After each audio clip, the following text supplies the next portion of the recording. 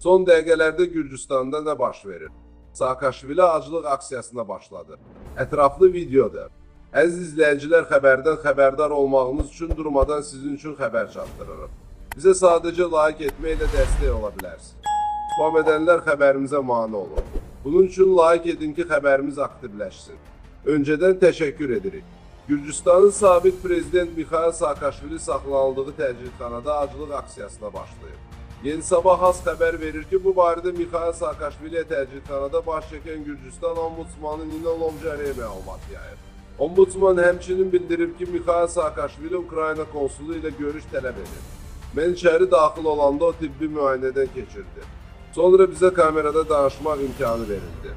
deyə Gürcüstan ombudsmanı fikrini tamamlayıb.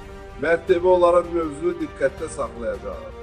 Ölkədə və dünyada olan xəbərlərdən anında xəbərdar olmaq istəyirsinizsə, kanala abunə olub bildiriş butonunu açmağınız kifayətdir.